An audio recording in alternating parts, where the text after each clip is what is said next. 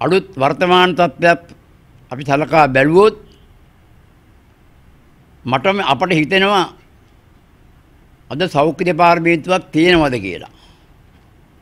ඒ තරම් දුර්වල තත්ත්වයකට සෞඛ්‍ය දෙපාර්තමේන්තුව වැටලා තිබෙනවාද? මොකද අපි දන්නා බොහොම දශක ගණනක ඉඳලා සෞඛ්‍ය දෙපාර්තමේන්තුවේ ක්‍රියාකාරීත්වය නිලධාරීන් පිළිබඳව අනුකුත් සියලුම කාර්ය මණ්ඩලයන් පිළිබඳව අපට ලොකු අවබෝධයක් දැනුමක් අපිට තිබෙනවා. දශක ගණනක ඉඳලා. එදායි මෙදායි සංසන්දනය කරලා බලනකොට අද අපටම හිතෙනවා සෞඛ්‍ය අමාත්‍යන්තයක් සෞඛ්‍ය පාර්ලිමේන්තුවක් ලංකාවේ තියෙනවද කියනකොටත් අපිට ඒ තරම්ම අද ප්‍රහෙලිකාවක් අද අපට ඇති වෙලා තිබෙනවා. මොකද හේතුව එක පැත්තකින් බලපුවාම මේ රටේ නිරෝගී සම්පන්න ජනතාවක් ගොඩනගන්නට බිහි කරන්නට සෞඛ්‍ය ක්ෂේත්‍රයේ ඉන්න සෑම කොටසක්ම වෛද්‍යවරයාගේ ඉඳලා පහළ කම්කරු මහත්මයා දක්වාම කැපවෙච්ච පිරිසක්. ඒකට කාටවත් නෑ කියන්න පුළුවන් කමක් නෑ. නමුත් මේ කොරෝනා විසිනෙන්දිර බලපුහාම එතනත් තිබෙන්නේ පන්ති ભેදයක්. පන්ති ભેදය කියලා කියන්නේ කොටසකට එක විදිහකට සලකනවා තවත් කොටසකට තවත් විදිහකට සලකනවා. නමුත් අපේ ජනාධිපති ගෝඨාභය රාජපක්ෂ මැතිතුමා බලයට පත් වෙනකොටත් මතක් කළේ අපි කාටත් එක සමානව කටයුතු කරනවා කියන එකයි. නමුත් එතුමාගේ දර්ශනය තමයි ශ්‍රී ලංකාව තුළ සෞභාග්‍යමත් දැක්මක් සැලස්මක් ඇති කරගන්න එතුමා කටයුතු කරන්නේ. අපි ඒක නෑ කියලා කියන්නේ එතුමාට අවශ්‍යකම තිබෙනවා රට හදන්න රට ගොඩනගන්නට රට දියුණු කරන්නට ජනතාව දියුණු කරන්නට. නමුත් අද අපිට ඊටාම පැහැදිලිව පේන දෙයක් තමයි මේ සෞඛ්‍ය දෙපාර්තමේන්තුව මේ යන ගමන දැක්කහම ගෝඨාභය රාජපක්ෂ මහත්මයෝ ඔබතුමාගේ සැලස්ම සෞභාග්‍යමත් සැලස්ම අද අපට නම් පේනවා සෞඛ්‍ය අමාත්‍යන්තයේ කුණුගුරුරයි දාලා තිබෙන්නේ. දාලා තිබෙන්නේ. අපි මේ හේතු සහිතව මේ හැමදේම කියන්නේ. ඒ නිසා මුලින්ම අපි ඔබතුමාගෙන් ඉල්ලීමක් කරන්නේ මේ සෞඛ්‍ය කියන වචනයට නිඳා කරන්නේ නැතුව සෞතු කියන වචනය අපට පාවිච්චි කරන්න දෙන්නේ නැතුව මේක විධිමත් සැලසුම් සහගත අමාත්‍යන්තකයෙන් පෙරට ගේන්න අපි උත්සාහ කරන්නේ. මේ රටේ වර්තමාන ආණ්ඩුව බඩේට පත් කරන් බඩේට පත් කරන්න වෘත්ති සමිතිය පුදුම විදිහට සහයෝගයක් දුන්නේ.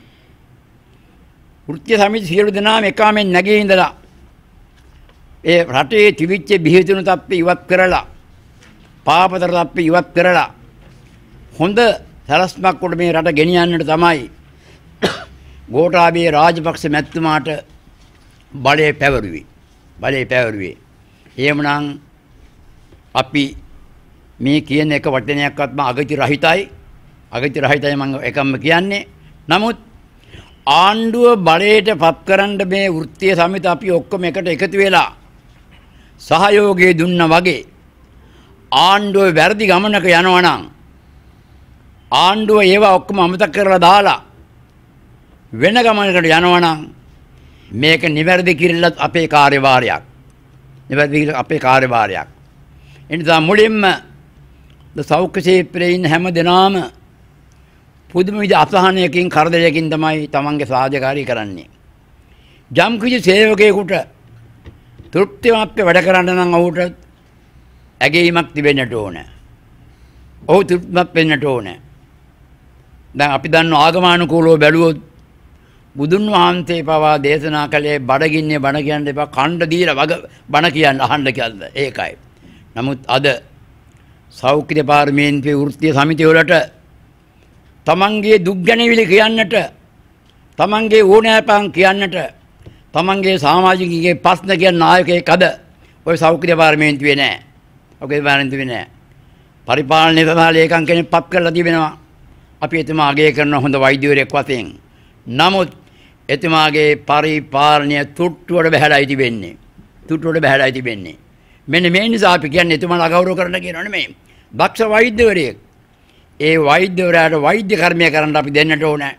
වෛද්‍යවරයාට පරිපාලනය දීලා සෞඛ්‍ය දෙපාර්තමේන්තුවේ පරිපාලනය මුලින්ම අද අවුල් වෙලා තිබෙන්නේ.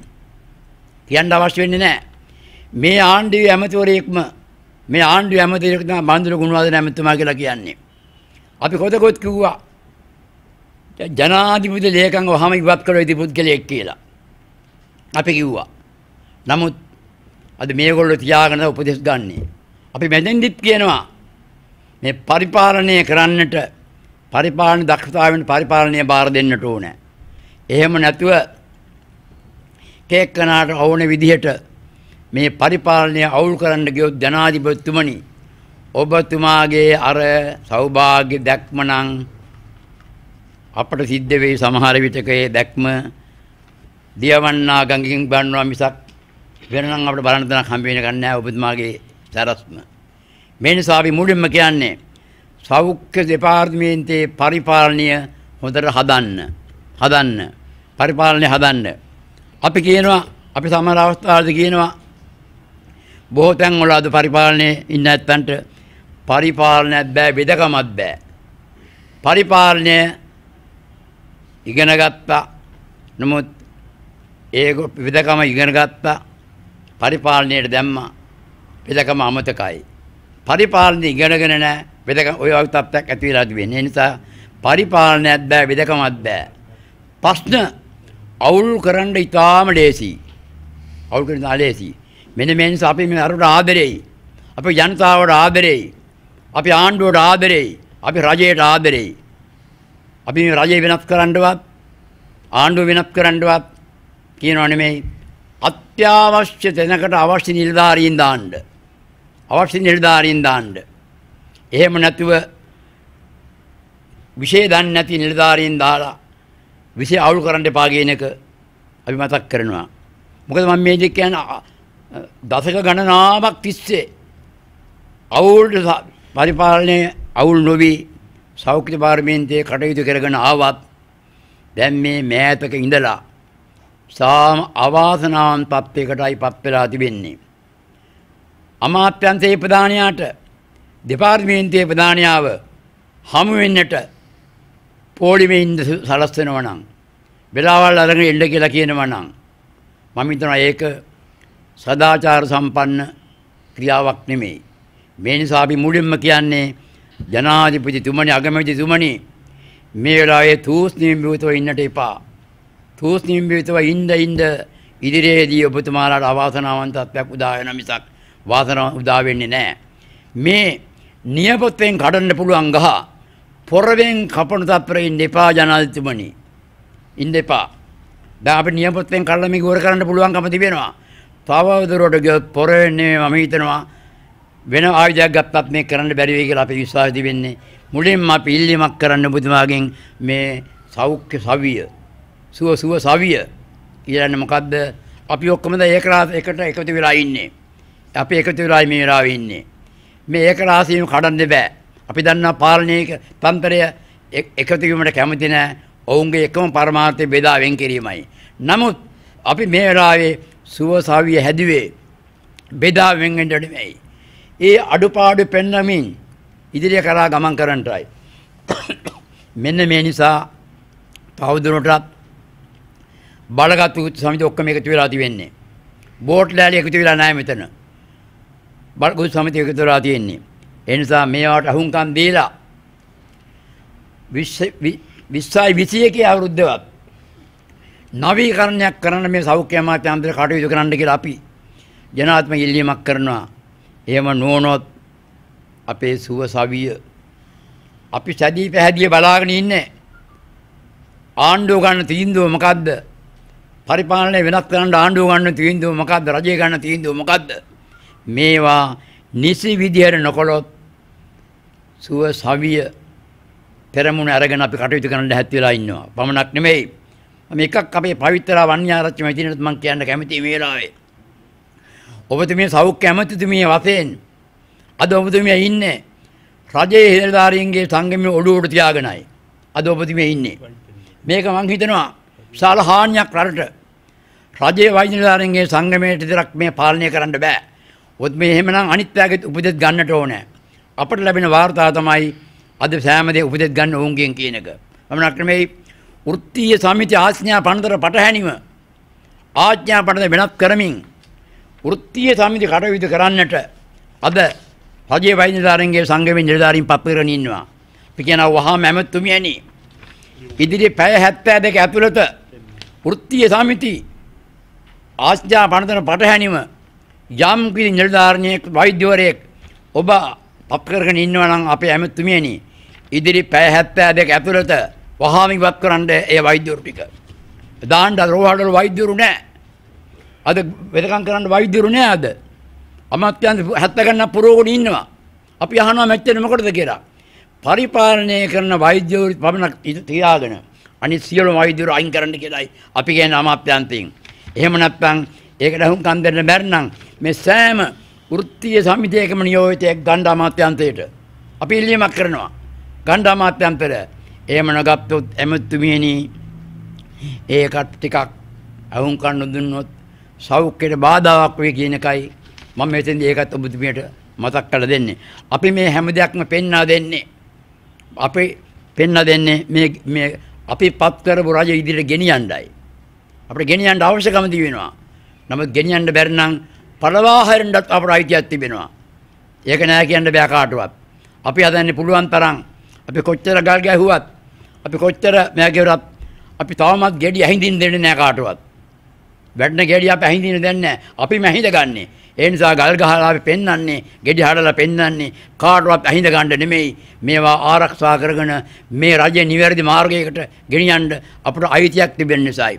අද ජනතාව හැම පැත්තෙම දුක් විඳිනවා. හැම පැත්තෙම අද කම්කටොළු කරදර තිබෙනවා. සේවා ප්‍රශ්නයක් කියන්න කෙනෙක් නැහැ. නිලධාරීන් ගත්තාම බොහෝම තැන් නිලධාරීන් වැඩ කරන්නේ නැහැ. තූස්නිම්බුත වෙන්නේ. උකුටලීව ඉන්නේ. අපේ නිලධාරීන් ඇවිල්ලා අහනවා "ආම්දුරනේ මොකද්ද අපිට මේ වෙලා තිබෙන්නේ? මොකද්ද වේගන යන්නේ?" අපිට උත්තර දෙන්න පුළුවන් කමක් නැහැ. මොකද එහෙමනම් මේ තවදුරටත් මේ පවත්නා තත්ත්වය පැතියේ ගිහිල්ලා විනාශමුඛයක් කරා ගමන් කරන්න ඉස්සෙල්ලා මේක විධිමත් මාර්ගයකට ගන්න කියලා අපි ගෝඨාභය රාජපක්ෂ ජනාධිපතිතුමාගෙන් අග්‍රාමාර්ථ මහින්ද රාජපක්ෂතුමාගෙන් අපි ඉල්ලීමක් කරනවා.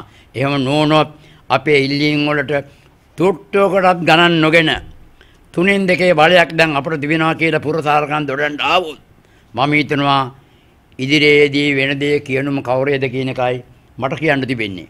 ඒ නිසාද මේ අරමුණ ඉතාම මං කෙටියෙන් පැහැදිලි සෞඛ්‍ය ක්ෂේත්‍රයේ කියනවා ඒක රාති වෙන්න මොහතක ඔවුන්ගේ දුක් ගැන වැහුම්කම් දෙන්න හොඳ නිලධාරිය පත් කරන සෞඛ්‍ය අමාත්‍යාංශයේ කටයුතු කරගෙන යන්නට ওই වැඩ වැඩ ට්‍රාන්ස්ෆර් ටික ඔක්කොම ඉවත් කරලා දාන්න කියලා අපි ඉල්ලීමක් කරනවා. එහෙම නොවුනොත් අපට සිද්ධ වෙනවා ඔවුන් ඉවත් කරන තුරු සුව සවිය පෙරමුණ අරගෙන ඉදිරියේදී දැඩි ක්‍රියාමාර්ගයක් ගන්නට අපට සිද්ධ වෙනවා කියන එක මේ අවස්ථාවේ මම සියලු දෙනා වෙනුවෙන් මේ අවස්ථාවේ මම නිර්භීතව වයනතු මම ප්‍රකාශ කරන්න කැමැතියි. ඒ නිසා තව ගොඩක් අය කතා අදහස් ප්‍රකාශ කරන්න නිසා මගේ මේ හැඳින්වීම පමණක් මම මත කර අනිත් අත්තන්න තියෙන මෙයා කරන්න එකම ඉල්ලීම සෞඛ්‍ය දෙපාර්තමේන්තුවේ මුල් පුටුව එහෙම නැත්නම් පරිපාලන මුල් පුටුව විධිමත් කරන්න කියන එක තමයි අපේ පළවෙනි ඉල්ලීම කියන එක අපේ බෝරාවිය රාජපක්ෂ ජනාධිපතිතුමාට මතක් කිරීමක් කරන්න කැමැතියි. එනම් හැම දිනාටම පෙරුවන් සරණයි.